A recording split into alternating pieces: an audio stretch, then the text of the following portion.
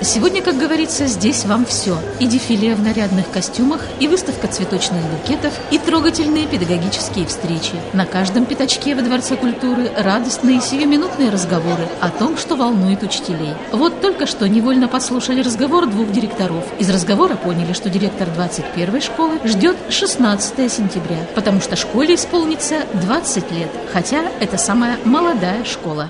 Я надеюсь, что в этом году у нас тоже будет очень много преобразований различных. Э, в честь юбилейного года, который, в юбилейный год мы вступаем 16 сентября, у нас запланировано очень много интересных мероприятий, запланировано много встреч. Это встречи с педагогами, которые работали в школе, это встречи с учащимися, которые были выпускниками нашего образовательного учреждения. Это, конечно же, серия интересных и увлекательных, познавательных мероприятий. А еще из разговоров педагогов 18-й школы узнали, что у них новый директор. Ну, в этом году у нас много перемен, много перемен в этом году. А, у нас новый директор, новые какие-то надежды, планы.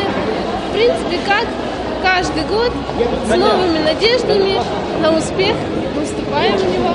Оказалось, что все свои 56 дней отпуска педагоги не только отдыхали, но думали и об образовательном процессе. Я, в свою очередь, все книжные магазины в городе Екатеринбурге прошла.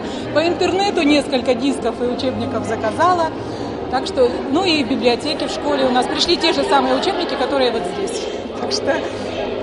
Директора спортивной школы встречаем с букетом цветов и стремящимся в зал. Торопится. У меня в спортивной школе молодой специалист приходит, Порсев Всеволод, э, вместо папы, Всеволод Владимирович, да, да, да, да. Он приходит, вот, и мы его мы хотим поздравить вот с этим прекрасным пакетом, с этим замечательным праздником.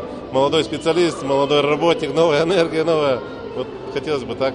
В зале нарядно и красиво. И как в песне «Аромат духов так манит». Учителя во всеоружии и красота, и ум, и талант. Все это скоро подтвердит цифрами и фактами начальник управления образованием. Но вначале глава города Дмитрий Филиппов благодарит учителей за рекордное число медалистов в прошлом учебном году. Это было 24 золота и 15 медалей из серебра. Кроме того, на 11 по счету торжественной церемонии вручения премий попечительского совета было названо 30 одаренных детей Полевского городского округа, 40 талантливых педагогов, 10 сильных и ловких спортсменов, 4 самых добрых и необыкновенно чутких воспитателя. В 2011 году на территории Полевского городского округа снова э, начали свою работу два реконструированных детских садика. Один в южной части города, другой в северной.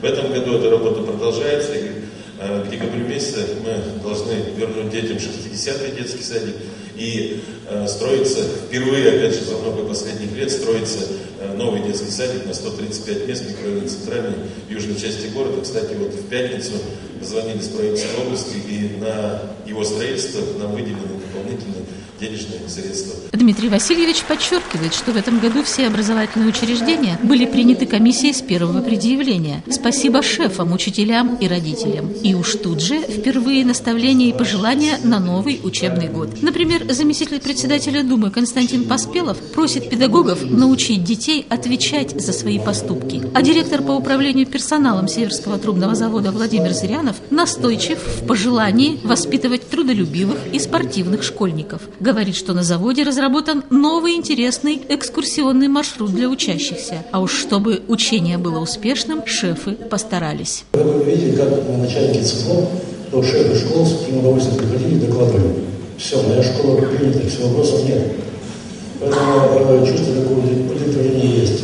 Начальник управления образованием Елена Пентегова сообщила, что в результате реализации комплекса мер средняя заработная плата учителей теперь сравнима со средней заработной платой в экономике города, а в четвертом квартале 2012 года она должна достичь 25 тысяч. Впрочем, считает руководитель, здесь не должно быть уравниловки, зарплата должна зависеть от конкретных результатов. Не обошлось и без критических замечаний в анализе. Это невысокий уровень качества образования в двух школах Полевского городского городского округа. Недостаточный уровень индивидуальной работы с обучающимися, слабая интеграция между основным и дополнительным образованием, а также между основным и дошкольным. В ближайшее время образовательным учреждениям необходимо определиться с типом и направленностью учреждения, продолжить изменения кадровой политики на местах, обеспечить дальнейшее введение образовательных стандартов. Мы сегодня услышали э, роль сообщества нашего города в образовании. Мы услышали очень значимый момент аттестации педагогических работников. Елена Викторовна подчеркнула, что какие-то моменты у нас идут лучше на уровне области, какие-то моменты хуже. Вот, допустим, по аттестации педагогических работников э, наш Полевской городской округ немножечко отстает, потому что средние цифры в области педагогов на высшую категорию, доля педагогов на высшую категорию в области 90%, у нас в городе 80 с чем-то процентов. Доля педагогов в дошкольных образовательных учреждениях аттестованных 80 с небольшим процентов, э, по Екатеринбургу 90 процентов. То есть сегодня очень много цифр, очень много сравнений очень много значимых моментов звучит в докладе начальника управления образованием. А в зале в это время выступала педагог со стажем работы в один учебный год. Однако уже сумевшая понять, что молодой педагог только в том случае может состояться, если рядом будет серьезная поддержка учителей-стажистов. Поняла учитель Галина Малеева и то, что заработная плата учителей не должна увеличиваться за счет их двойной нагрузки. Хочется верить, что и в дальнейшем уровень заработной платы учителей будет повышаться, причем не только за счет увеличения нагрузки. Ведь на сегодняшний день в структуре заработной платы оплата улучшенной деятельности составляет от 40 до 50 процентов. Остальное это доплаты, надбавки, премии а, за выполнение дополнительных обязанностей, качество работы. Поэтому у педагогов, тем более молодых, нет ощущения защищенности, уверенности, стабильности заработной платы. И, как водится на августовских конференциях, здесь сегодня все получили по заслугам. Что называется, по труду была воздана и честь. Педагоги-стажисты и только начинающие, но талантливые. Из рук главы города получили почетные грамоты Министерства образования и науки Российской Федерации за эффективное внедрение новых образовательных стандартов, за эффективную работу, за профессионализм. Кроме того, представитель из Министерства общего и профессионального образования области вручила почетные грамоты учителям учителям, работникам дополнительного и дошкольного образования. Получали заслуженные грамоты и школьные секретари, и библиотекари, и даже сторожа. И на августовской конференции сказали спасибо за труд уходящим на заслуженный отдых директорам школ и поздравили с новой должностью новых и молодых, с новым взглядом на образование директоров и, конечно, по традиции, приняли с нежным вниманием и радостью в свои ряды только-только окончивших учебные заведения специалистов. Сказали им напутственные слова, но, как видно, эти слова подошли сегодня для всех. В добрый путь, учитель.